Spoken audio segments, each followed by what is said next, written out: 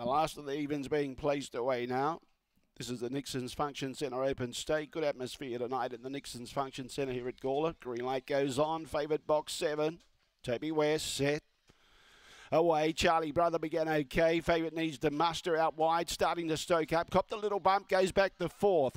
Uh, legendary value second. On the inside was Rocket Man Rose. Now the favourite trying to stoke up. That's Toby West. He's got three lengths to make up. In big trouble out the back was uh, pulled up out of the race was Silverstone. It's gone amiss. In the meantime, Charlie Brother kicks through, holds out the favourite. Charlie Brother beats Toby West. Third was Rocket Man Rose. Fourth placing Legendary Value.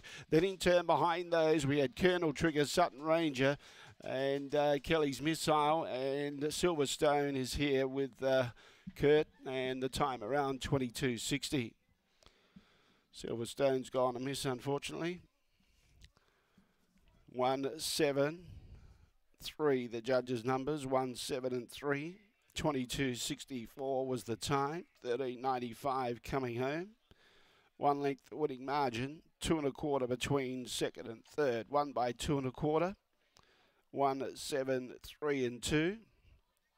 And good start by Charlie Brother to hold out the challenges by Dyna Double One out of Stylish Fringe, raced by the SWT Racing Group, managed by D Shaw.